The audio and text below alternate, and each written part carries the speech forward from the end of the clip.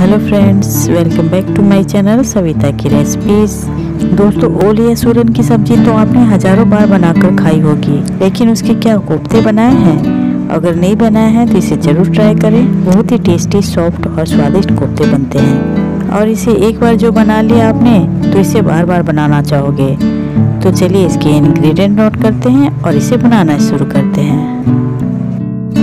कोफ्ते बनाने के लिए हम लेंगे 200 ग्राम ओल। या सूरन, जिसे जीमेकंद भी कहते हैं, इसे अच्छे से पानी से धो के उसे कट कर लेंगे और उसे बॉईल करने के लिए कुकर में डालेंगे अब उसमें डालेंगे हम पानी। पानी उतना ही डालेंगे जितना कि वो अच्छे से डूब जाए। अब उसमें हम एक छोटी चम्मच नमक डालेंगे। एक छोटी चम्मच हल्दी पाउडर और दो नींबू के रस हमने निकाल के रखे थे, उसे डाल देंगे। और उसकी लीड लगाकर धीमी आँच पर दो से तीन सीटी आने तक बॉईल कर लेंगे। दो से तीन सीटी होने के बाद कुकर को गैस उतार लिया है। और देखिए ओल कितने अच्छे से बॉयल हो चुके हैं। तो बस इसे छन्नी में डाल करके छान लेंगे ताकि इसके सारे पानी निकल जाए और इसे ठंडा होने के लिए रख देंगे।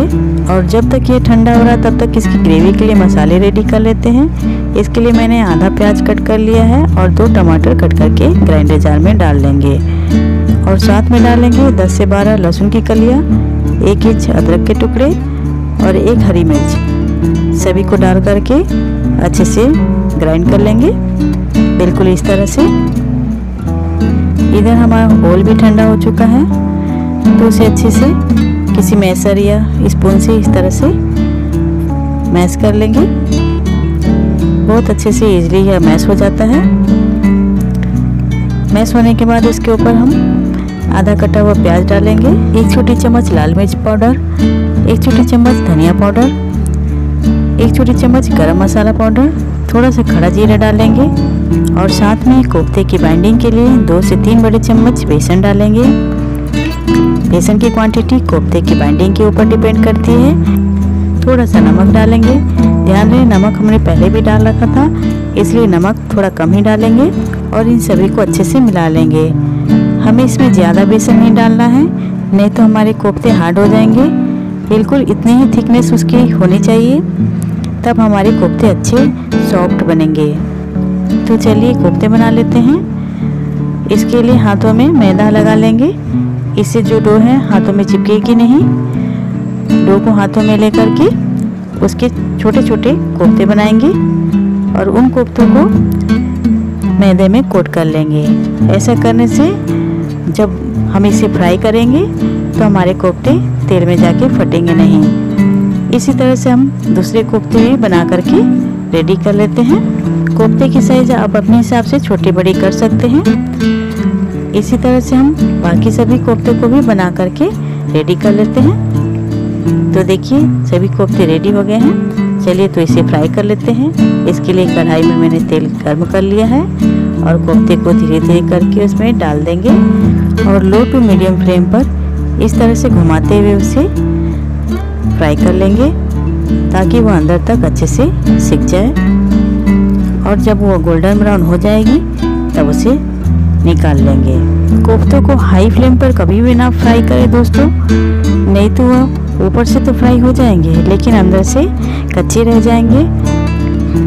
तो इसी तरह से हमने सभी कोफ्ते को गोल्डन ब्राउन होने तक अच्छे से फ्राई कर लिया है, और उसे निकाल लेंगे। तो चलिए कोफ्ते तो फ्राई हो चुके हैं, अब इसकी ग्रेवी बना लेते हैं। तो ग्रेवी बनाने के लिए हमने कढ़ाई में तेल डाल लिया है। अब उसमें खड़े मसाले डालेंगे। खड़े मसाले में मैंने लिया है दो इलायची, एक दालचीनी, दो लौंग, एक तेज़पत्ता और एक लाल मिर्च।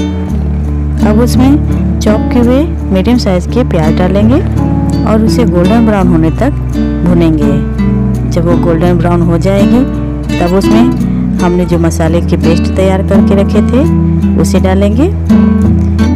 उसमें थोड़ी सी हल्दी पाउडर डालेंगे और एक छोटी चम्मच काश्मीरी लाल मिर्च पाउडर डालेंगे। इससे ग्रेवी में कलर बहुत अच्छा आता है। एक छोटी चम्मच धनिया पाउडर डालेंगे। एक छोटी चम्मच लाल मिर्च पाउडर डालेंगे। एक छोटी चम्मच जीरा पाउडर डालेंगे। और इन सभी मसालों को अच्छे से भून लेंगे। मसाले जब अच्छे से भुन जाएँगे, तब उसमें हमने एक कटोरी दही लिया है, जिसे अच्छे से फेंट लिया था, उसे डालेंगे।